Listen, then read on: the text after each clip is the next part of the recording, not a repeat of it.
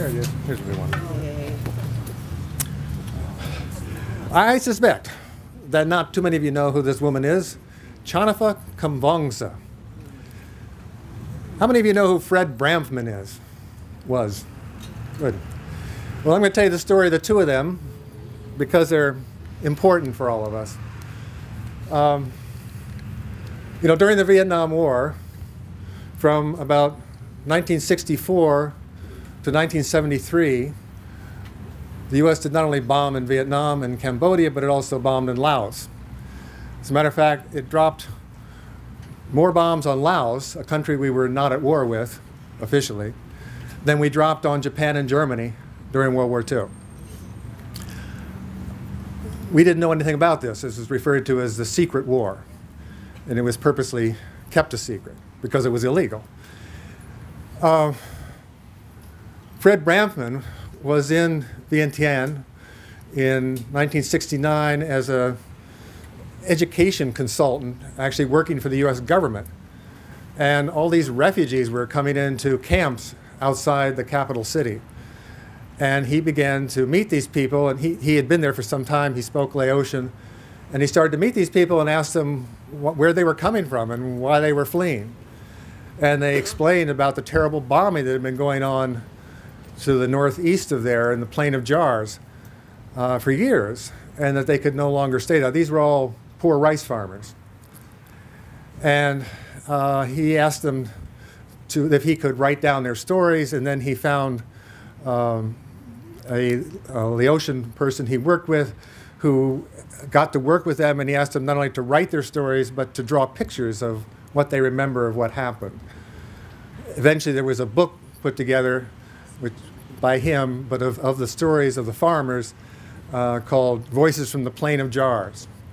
If you don't know the book, I, I very highly recommend it. He, became the, he came back to the United States and testified in front of Congress to try to get people in this country to understand what's going on. That we were, you know, just carpet bombing civilians uh, for nine years. Um, and part of it had to do with the fact that the North Vietnamese, when they were trying to uh, get south into South Vietnam, had started going outside of Vietnam thinking it would be a safer route, and so they would go into Laos and down through Laos and then back into South Vietnam, and the United States was bombing that Ho Chi Minh Trail. But they were also bombing in these civilian areas because they thought that these poor people might be sheltering the Pathet Lao, which, which was the, uh, the uh, resurgent group inside of, of uh, Laos, which was fighting against their reactionary government uh, you know, this went on and on and on. I got reacquainted with this story a few years ago when a man, an Englishman in Laos, who's been working with uh, the survivors. I mean, I'm going to I'm going to sort of get ahead of myself here, but just it, it's it's impossible to tell a story, and it's almost impossible to get an idea of the scale of this bombing. There were all kinds of bombs were dropped on Laos but perhaps the most insidious uh, were over 250 million cluster bombs. At least 80 million of these cluster bombs did not explode. They're still exploding every day. People are still 50, 60 plus years, especially children, are picking them up, stepping on them. They're being you know, plowed up by a farmer. They explode. Um, Fred Branfman was trying to tell people what was going on. He died a few years ago. Um, this man in England, this Englishman there, uh, Mike Boddington, had gone there more than 20 years ago to bring prosthetics to people there who had lost arms and legs uh, to try to care for them.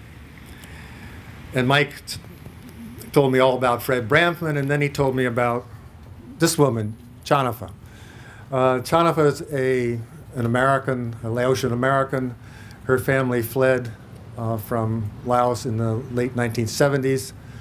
Her parents, she was very little, uh, her parents didn't even want to tell her the stories of what had gone on there, but she grad gradually found out and then developed this organization in this country called Legacies of War, which has dedicated itself to telling the history, providing money for care of the people who are still being wounded, and of course, trying to get this unexploded ordnance out of the environment.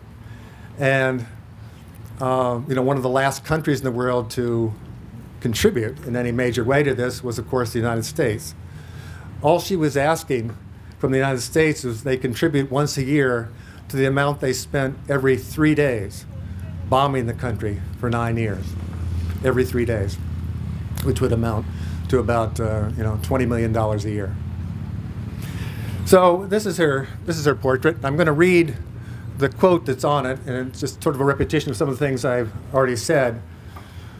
But I just want you to hear it again. The U.S. dropped 260 million cluster bombs in Laos during the Vietnam War. An estimated 80 million did not detonate, scattering throughout Lao villages, rice fields, schoolyards, pasture lands, forests. The equivalent of a plane load of bombs was dropped every eight minutes, 24 hours a day for nine years, more per capita than any other country in the world. This is called the secret war. The mission of Legacies of War is to advocate for clearance of unexploded bombs and provide space for healing the physical and emotional wounds of war. I would suggest, you know, go to their website. Uh, for a long time, the organization Legacies of War was this one person. Now it's two or three people. Um, but they're doing an enormously good service for the people in Laos and also for people in this country who need to know this history, uh, who would also, I think, want to contribute to do the best they can to clean it up. If we were cleaning it up at the same rate as we have been for the last few years, it would take 3,000 years to get the bombs out of the environment. That's why it's so important that more money be dedicated and that this country bear more responsibility for the cleaning of it up. Um,